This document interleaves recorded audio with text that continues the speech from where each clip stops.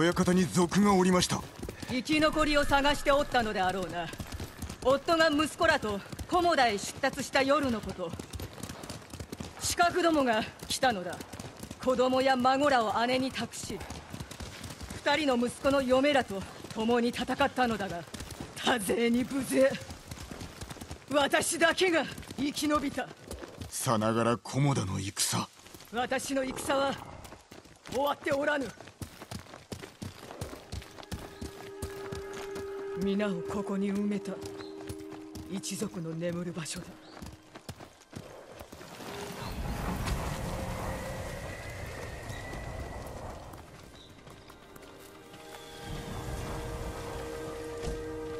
必死に助けようとしたが皆死角から逃げきれず道端で切り殺された。姉も孫すらも赤子もいたのだ。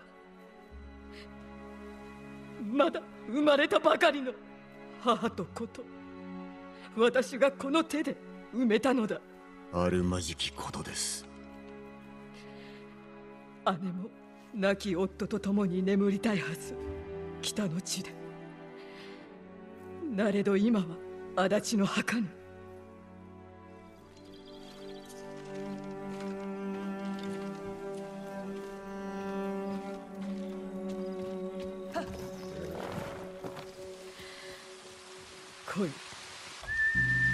れから小金寺へ向かう。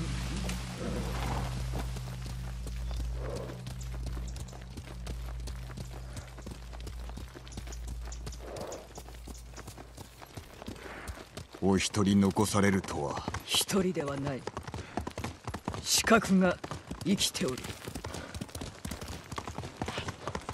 報いを受けさせましょ奴らがのうのうと生きておるなど一族の恥。う御身の咎ではない。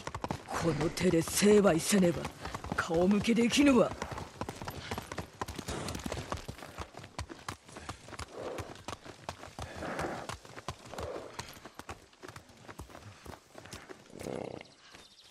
お主一人で行ってくれ。草原という僧を探し足立家の顛末を伝えてほしい。どういうおつもりですか？やもめの頼みは聞け草原と話したら甲冑師を見つけろ。修繕を頼んだ鎧がある。お主にくれてやろう。かたじけない。では。私は寺の裏口で待っておる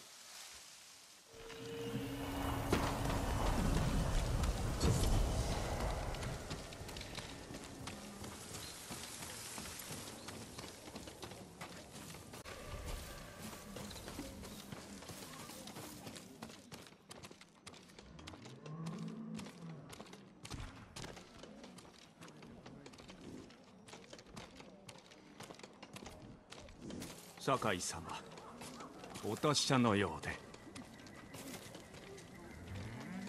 住職殿か。その実は下男と何ら変わりませんよ。私は純真と申します。この寺が民の助けになればと。広めておこ寺まで赴けない者は有明の野営へ。少ないですが食べ物も備えました。うありがたい。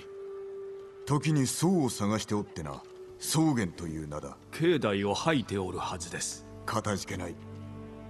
民を頼むぞ。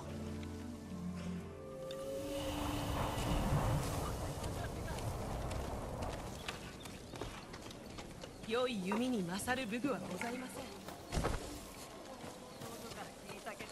酒を飲みすぎて死んだ猛虎兵がいるらしい。信じられないよ。同じような死に方をした人なら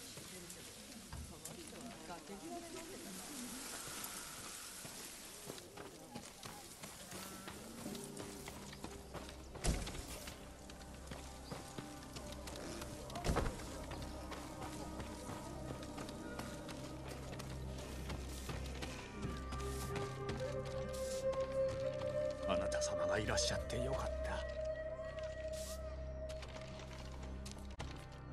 仏のご加護があります。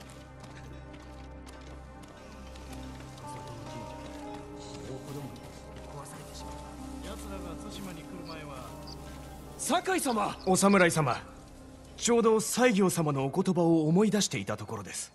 心を清めるにはまず体を清めろとか。里いお方のようだな。晩年はもっぱら湯に浸かって過ごしたのだろですが少しは特進がいきませんか。癒しの水清めの湯気紅葉の葉から漏れる光戦に向けて心を研ぎ澄ますには湯に浸かるのが一番でしょう。そうかもしれんな。湯に入りたくなってきた。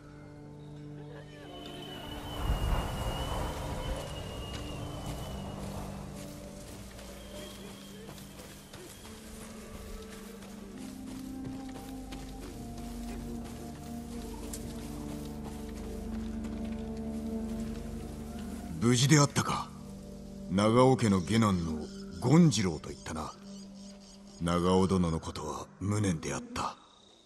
俺のようなもののことを覚えててくださったんですね。あなたのおかげで大勢が助かってます。戦はまだ始まったばかりだぞ。だから俺もお手伝いしたいんです。みんなで使えそうなものを集めました。どうぞお受け取りください。これは助かるな。皆に礼を伝えてくれ他に役に立ちそうなものがあればあなたの立ち寄りそうなところに置いておきますね。対馬をどうぞお守りください。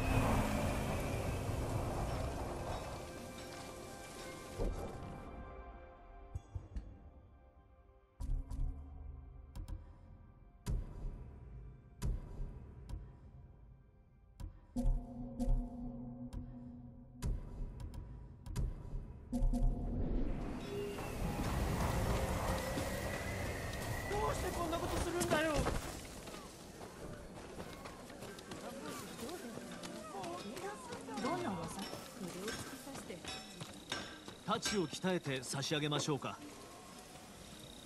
堺家に伝わる宝刀素晴らしい一品です。見ただけでわかるのか。私には刀の顔がわかるのです。人と同じくそれぞれ違うのですよ。堺様素材をお持ちくだされば喜んでその宝刀を鍛えて差し上げましょう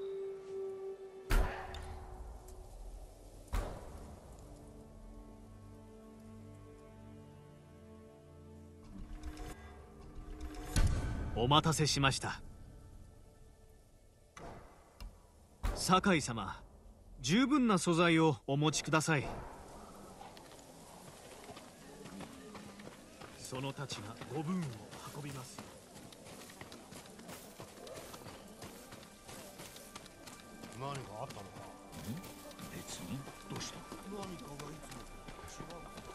どんな鎧でも結構です。政子殿の使いだお主が足立家の鎧を直しておると聞いた。さようです。誠に素晴らしい鎧でございました。取ってまいります。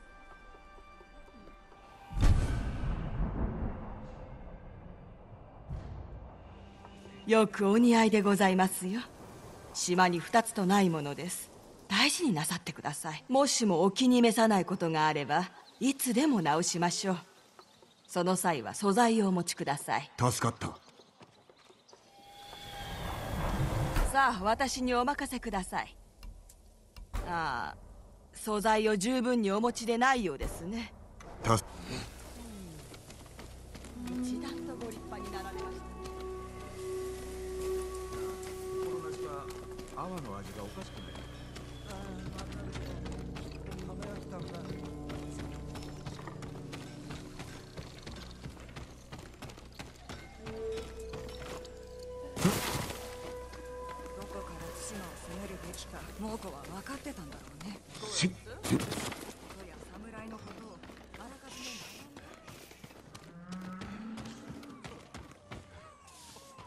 草原か。さようで。酒井と申す。お侍。何用で。政子殿からことづてだ。足立家の親方が襲われて他の者は死んだと。猛虎が。いや裏切りだそうだ。おいたわしや戦支度をした奴らが寺に来なかったかそのような覚えは勤めに忙しくしておりますゆえ。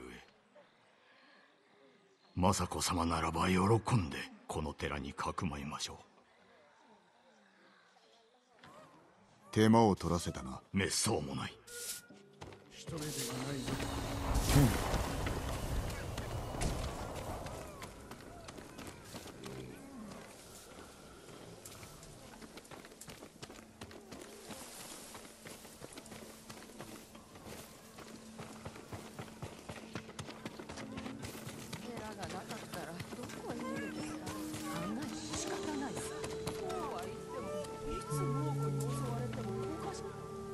酒井様ご無事で。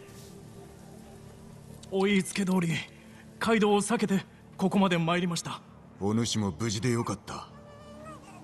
息子も怪我はないな。父よりも立派な子です。あなた様に助けていただいたこと忘れません。達者で暮らせ。さらばだ。木のまま逃げてきた連中ですがあなた様の助けになりたいと言ってますほらな言ったろお前あそこから来たのか日中は隠れて。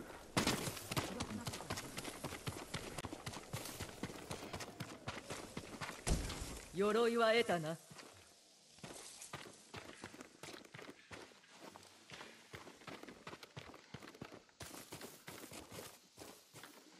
良い具合です。それは私の長男重里のもの。かたじけない。そうと話しました。何と言っておった。喜んで寺でかくまうとそうして居所を敵に漏らすわけか。ついてこい。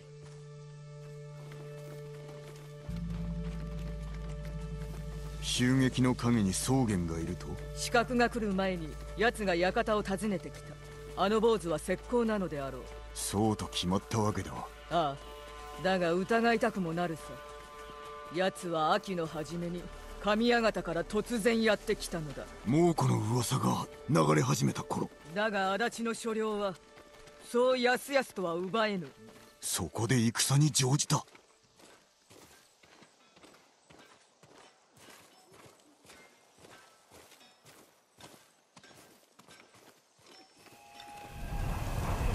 あの坊主抜け抜けと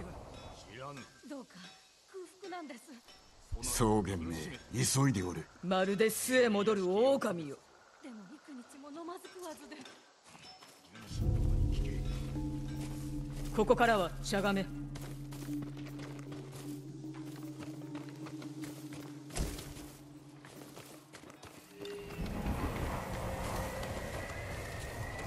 私を利用しましたな。恐怖心を煽って尻尾を出させたまでおかげで住処に向かっておるぞ。こちらへ見られぬように。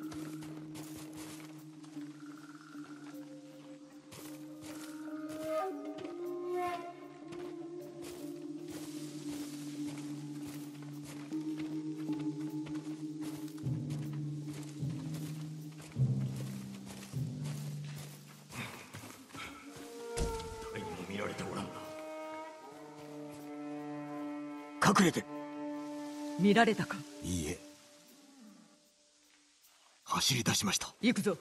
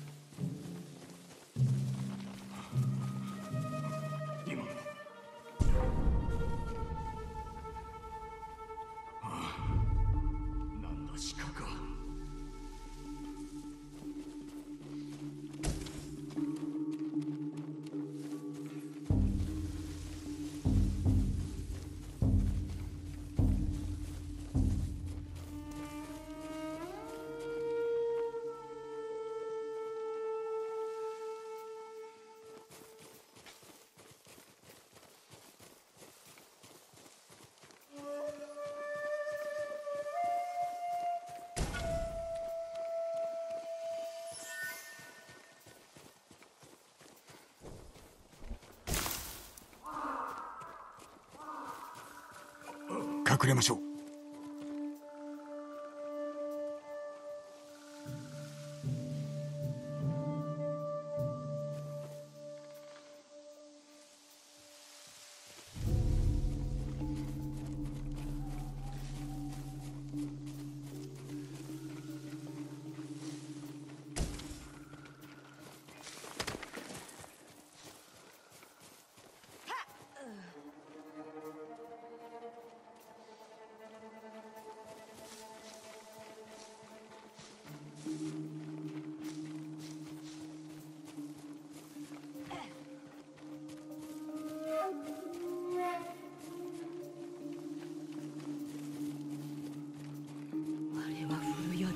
近づきましょう。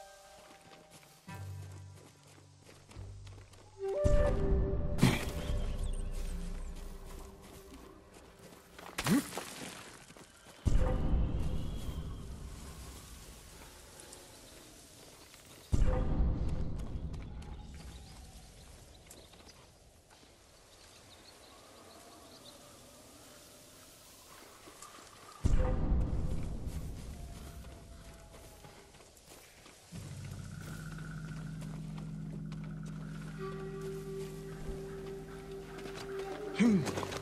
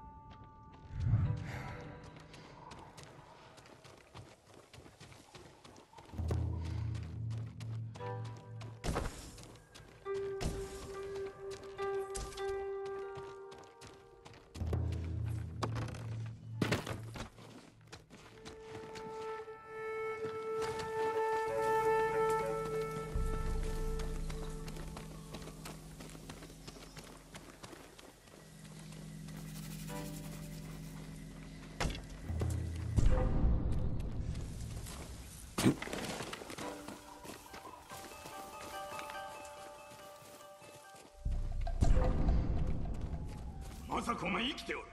武士を連れておるの？館で仲間を殺した武士だろうな。アホどもめわしの肩入れが筒抜けだ。見つけ出してこい。声を抑えてくれ。わしは中で休む。奴らを殺すまで戻るな。あやつらが一族の敵坊主は生かせ。他は殺す誰が相手だ？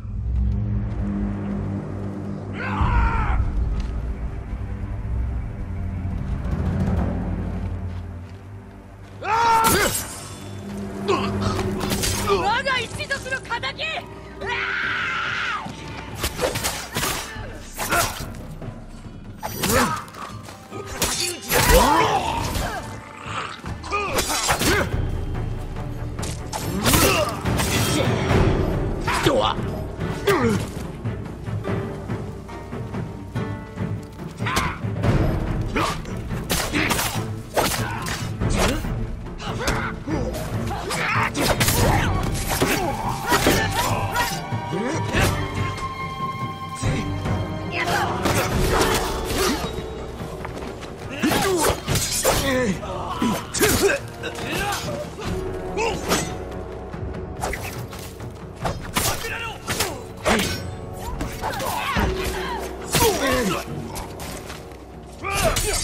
草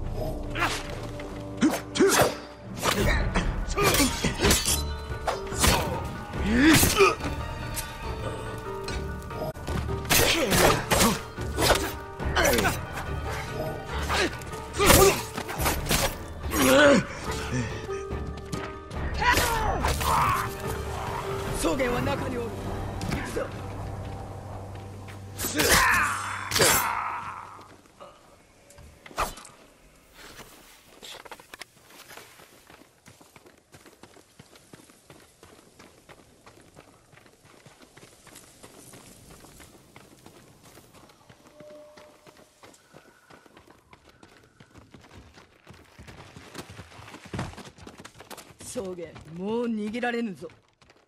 なぜ足立家を襲った？わしはただの使い走り。主はそれを知って何の役に立つ？己に問われる筋合いはないわ。政子殿。私は家族を埋めたのだ。一人一人をな幾日もかけて。己など野犬どもの餌にしてくれるわ。殺してはいけない。主を吐かせねば。この世は地獄よ。強き者が正さねばならん。邪魔立てするなら殺すまで。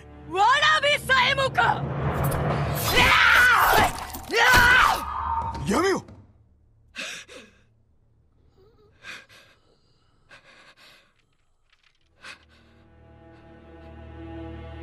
うせ口を割りはせぬ。手がかりがいる。糸口を探さねば。あなたは外を。私は中を調べる。済んだら知らせろ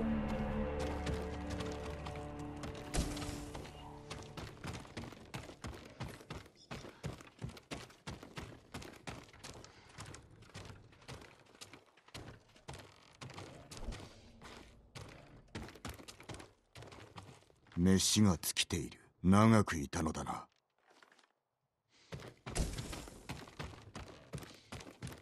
替えの武具援軍が来るはずだったのか。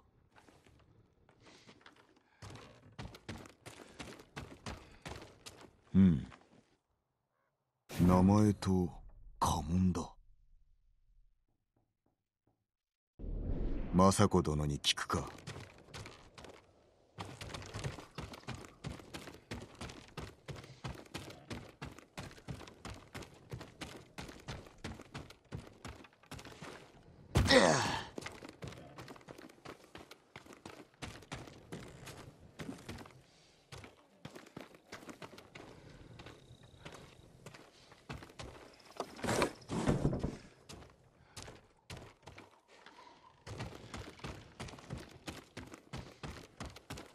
何か見つかったか。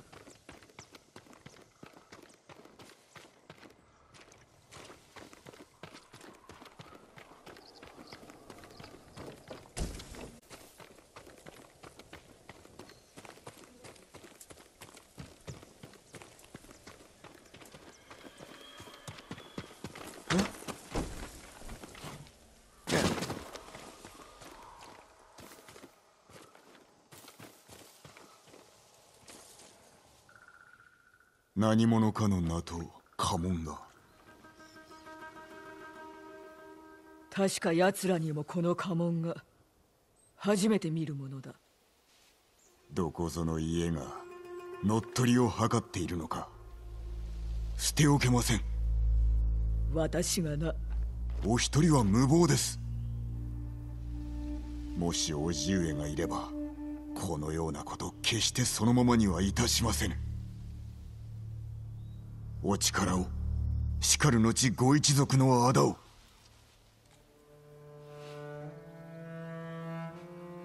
いいだろう。志村殿の救出に向かう折には私も参ろう。かたじけなきお言葉。ではさらばだ。やることがあるでな。